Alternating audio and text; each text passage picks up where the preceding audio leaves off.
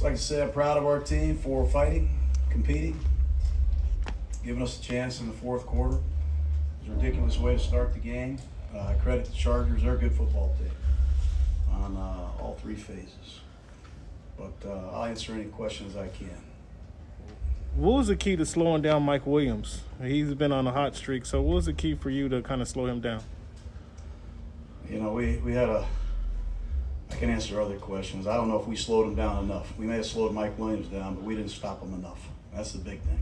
What made Jared, Justin Herbert so tough to defend? He's a good quarterback. They got a heck of an offense. They got a lot of weapons, and they got a lot of different kinds of plays, and he can execute. Them. He's a special talent.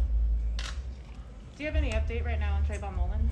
No, we lost a couple corners. Arnette went out, Mullen went out, Nate Hobbs went out at the end of the game. So um, I'll have an update later in the week. Jon, I under, I know you lost, there's no moral victories, but could you please talk about the fans? They certainly showed up. Oh, it was great. You know, it was great. It's always great to have the support of the Raider fans, and we're sorry we let them down, but uh, we cannot come out and uh, take that many punches in the first round. And uh, you know, I'm, I'm, proud of our guys showing the toughness to get up and keep fighting, but that that was ridiculous tonight. They got honest and they got after us in all three phases and uh, we found a way to make it a football game and give ourselves a chance. But it's just too hard in this league against good teams. What's it it's ridiculous? Is it more a frustration with your team, or is it, or is it just admiration for the Chargers? I think it's a combination of a lot of things. You know, you can't uh, you can't deny this. The Chargers are a good football team. They are an excellent team, and um, they proved it again tonight. They're going to go places this year. They're going to be a force to be dealt with. But um, we had penalties that were ridiculous. We gave up some plays in a passing game today that you can't give up. And um, we didn't play well first half.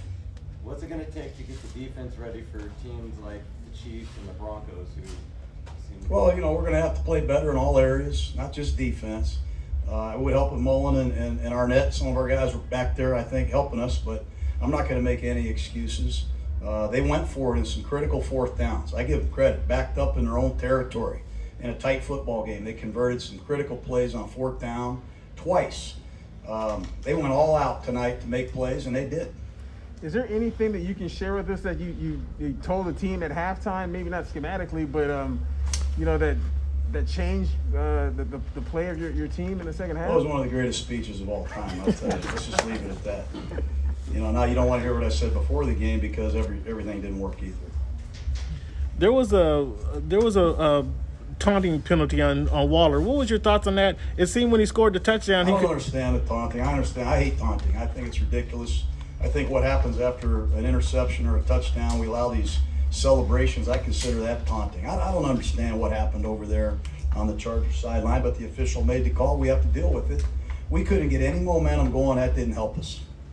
you guys had three cornerbacks go down due to injury. Uh, I'm sure you don't have too many updates yet, but how, did, how tough was it to deal with? That's tough. You know, we had a lot of guys go down. You know, Jacobs went out, Peyton Barber went out, Carrier was unable to play, so we lost a lot of our three tight end sets. But, you know, they lost players too. We're all going to have to deal and adapt. And um, hopefully we can get some guys ready. We got a short week. Got to get back home and get ready. I'm proud of our team. I'm going to reiterate that.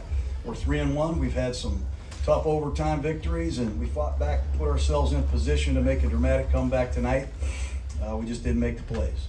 Jon, you were driving to tie the game, a second and five run, a third and three sack. What did you see in those two plays? Well, obviously, second and five, you know, we give the ball to Josh, and uh, didn't get much. I think we got a yard and a half or so. And then on third down, they play good defense. Can you tell us the explanation they gave you for a weather delay on an indoor stadium? No, I'm not an engineer. I have no idea. I mean, I have never heard that.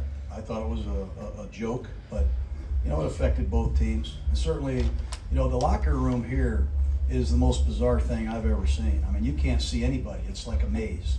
So, um, you know, whoever whoever contorted this visiting locker room, I'd like to meet this guy, see what his um, what his idea was. How did that delay? How did that delay adversely impact your team? I, I, it didn't. It didn't have anything to do.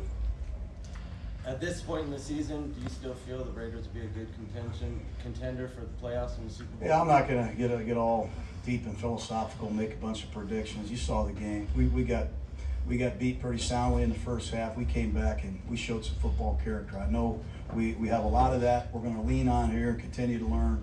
We got some injuries we got to learn about. We got to get ready for the Bears on a short week. your feelings uh, are going to get hurt in this league sometimes. And uh, certainly ours are hurting right now. But thank you, guys.